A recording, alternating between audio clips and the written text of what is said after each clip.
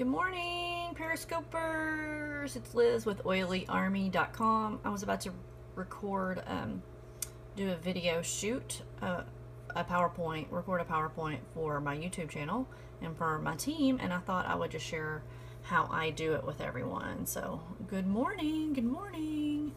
Thought that might interest people on how I do what I do. Okay, so recording videos, if you're in network marketing, is a great way to duplicate your information so that you don't have to. Good morning, Kelly.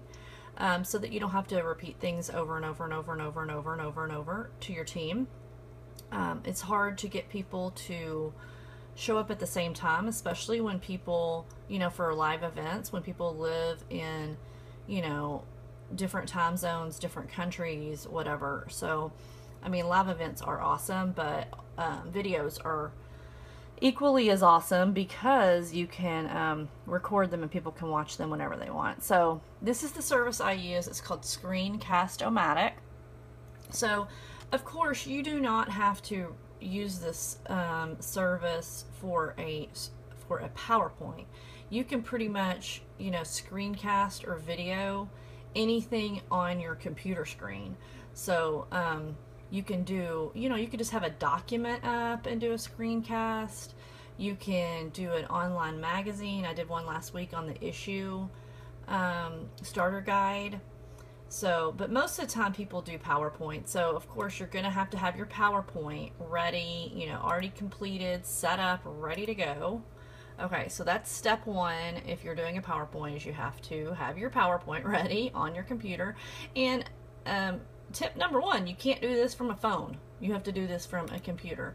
And then once you've signed up for their service, so they have a free service and then they have a pro and I'll just, I'm not going to go over what the differences are one's free and one's paid and you can go in and look for it i already have a pro account so you would just click um, start recording and then record screencast and i'm going to show you the the, the, the page that comes up stand by so i'm going to go ahead and open up my powerpoint.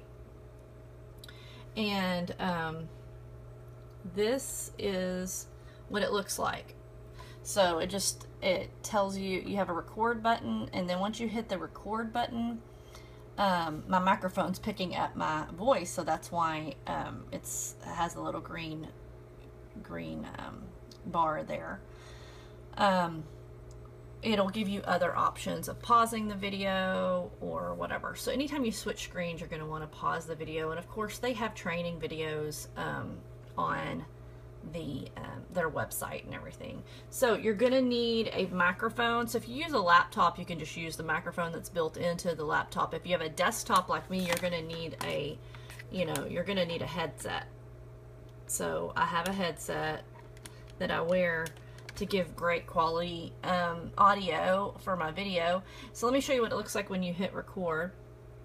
So let me, it's hard for me to watch my phone and watch my computer screen.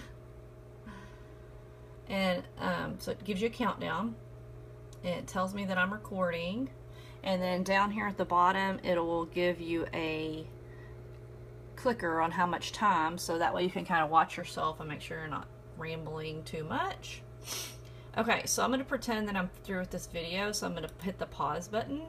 And now it asks you these questions. So are you finished? Are you wanting to delete it? So let's just say that I'm finished. It's going to take me to the screen.